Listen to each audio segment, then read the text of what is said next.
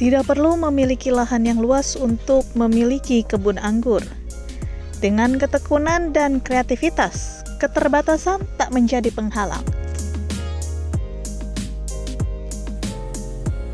Seperti yang dilakukan oleh Ayib, seorang warga yang tinggal di Desa Medong, Kecamatan Mekarjaya, Kabupaten Pandeglang, Banten.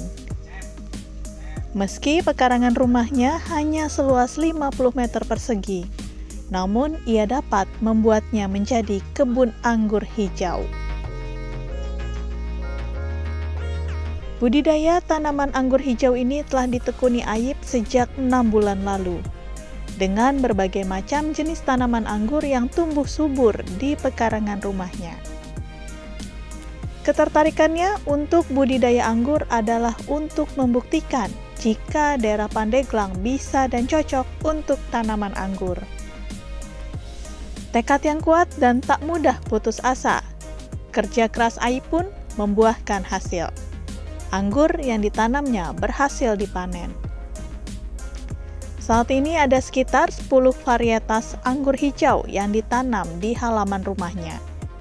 Di antaranya Jupiter, Oscar, dan Haldun. Menurutnya, menanam anggur tidaklah mudah Perlu kesabaran dan ketelitian untuk merawatnya. Salah satunya adalah hama pemakan daun yang kerap kali mengancam. Saat ini, buah anggur yang dipanen hanya untuk konsumsi keluarga dan para tetangga. Ke depannya, ia berharap budidaya tanaman anggur ini bisa menjadi mata pencaharian bagi keluarganya. Otodidak aja ya, melihat suhu-suhu pengangguran nanam saya senang kata saya kalau ditanam di teras rumah kayaknya bagus nih. Ya tanamlah. Alhamdulillah. Kalau anggur sih kalau untuk di kita ya masih jarang.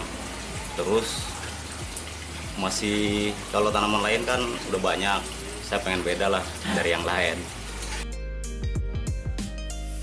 Setelah sukses membudidayakan tanaman anggur, Aib kini melebarkan sayapnya dengan membuat bibit tanaman anggur.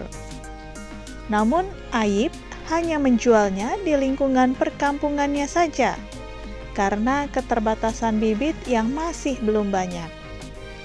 Irwan Seuseu, Jak TV.